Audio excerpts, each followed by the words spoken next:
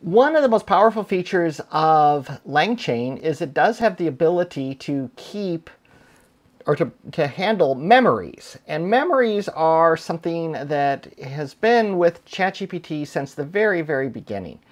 And if we look at the actual ChatGPT, you can see a conversation that I had with it here. I tell it over the weekend I helped my mother-in-law to set up her new computer, memory updated. That always scares me when it says memory updated. It's like, okay, that's going on my permanent record, I guess. Jeff helped his mother-in-law set up her new computer over the weekend. Okay, so it's keeping that as a longer-term memory. And all that it's doing is it's taking those longer-term memories and putting that into into the prompt as you as you say each thing to it. So it's friendly. It just asked me how did that go, and I said it worked great. But then I decided to quiz it, and I said, okay, I mentioned a mother-in-law, so if I have a mother-in-law, I'm probably married. Um, the proof is here, I guess, but it is it, it, it actually knows other things from me, some of which might be in that longer term memory. And I know I am in the foundation models. It knows certain things about me, but it says, yes, you're, you're married and your wife's name is Tracy. She's a Missouri public school teacher.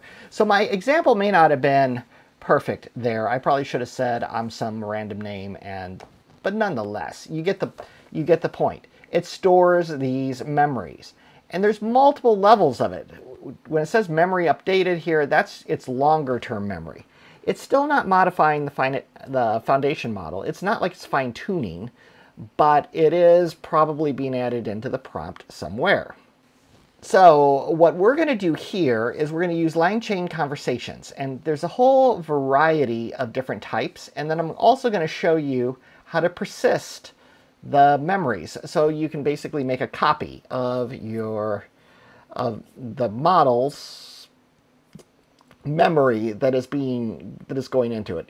It's not really remembering this. All that is happening is it's essentially keeping like a notebook of all of its things that it wants to remember and then reviewing those. Once that notebook fills, what happens varies depending on the type of conversation memory that we're actually using. So here we go ahead and load it up. We install the necessary software that we're going to need to actually make use of this. My API key, since I'm running in Colab, is coming from my secrets here, but you will need some sort of a API key if you're going to use OpenAI. So this is where it installs everything. And then we get into LangChain conversations. So we're going to create a conversation. Just like before, you have human messages, system messages, and chat um, AI kind of messages. The system message, that is the system prompt that defines really how this thing is operating. And then human messages are humans messages coming in from the human and there's another one that we'll see in a moment that is the, the responses back from it. So what I'm doing here is I create this called begin conversation. It's going to start this messages array that holds all of the messages to and from. And then converse basically takes an LLM, the, the conversation that we're, that we're keeping, which is the messages in this case, and then we call, um, we, call, we call the LLM invoke, and we append to that output stream. So that array just keeps building up further and further and further. This is really the most simple type of memory that you can have for the large language model because it's fundamentally just this array of, of the conversation that we've seen previously. And here you can see I actually set it up and initialize it. So I create the OpenAI, I create the model, which is going to be GPT-4o. I might have updated this in future versions as less expensive ones come out. And then I can, I can say, hello, what is my name? Um, and this is what I'm basically saying to it, and we see its response. So I say, hello, what is my name? And it says, I'm sorry, but I do not have access to your personal information, such as your name. How can I assist you today? And then I say, nice to meet you. Uh, um, well, these are the responses. So I say, oh, sorry, my name is Jeff. And then it says, nice to meet you, blah, blah, blah. And then I ask, what is my name? And it says, your name is Jeff. How can I assist you? Because now it knows it. It's in the flow of conversation.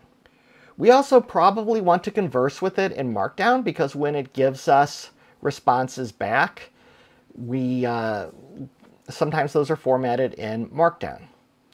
We'll also see later on that we can do a lot more than just a notebook here. We can actually use something called Streamlit, and we'll create a little chat bot that you type back and forth, like kind of almost like when you're chatting with ChatGPT.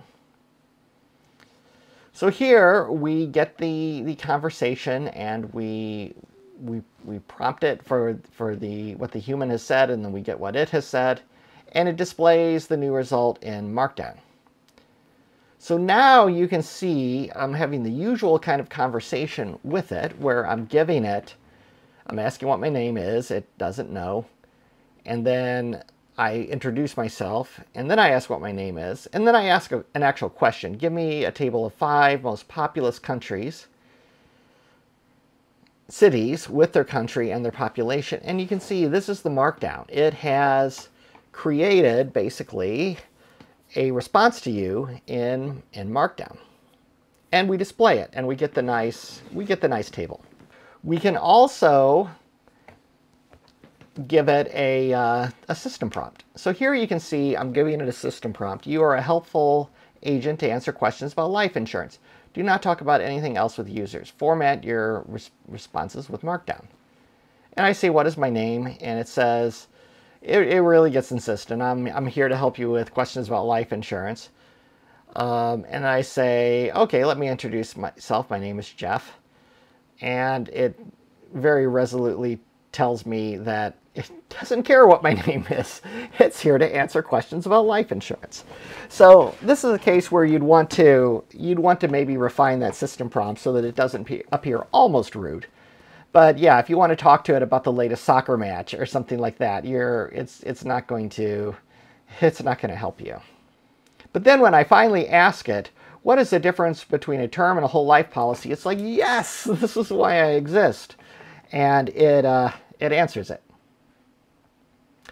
So this is the most basic type of memory that we can see. This is where you just have this list, this array list that is keeping all of the responses back and forth with information so that it can tell which is which. Thank you for watching the video. We'll definitely get into more complicated methods of keeping chat memory as we progress through this module. Thank you for watching. If this was useful, please give me a like and let me know in the comments. And subscribe to the channel so you don't miss all my future projects that I do in artificial intelligence.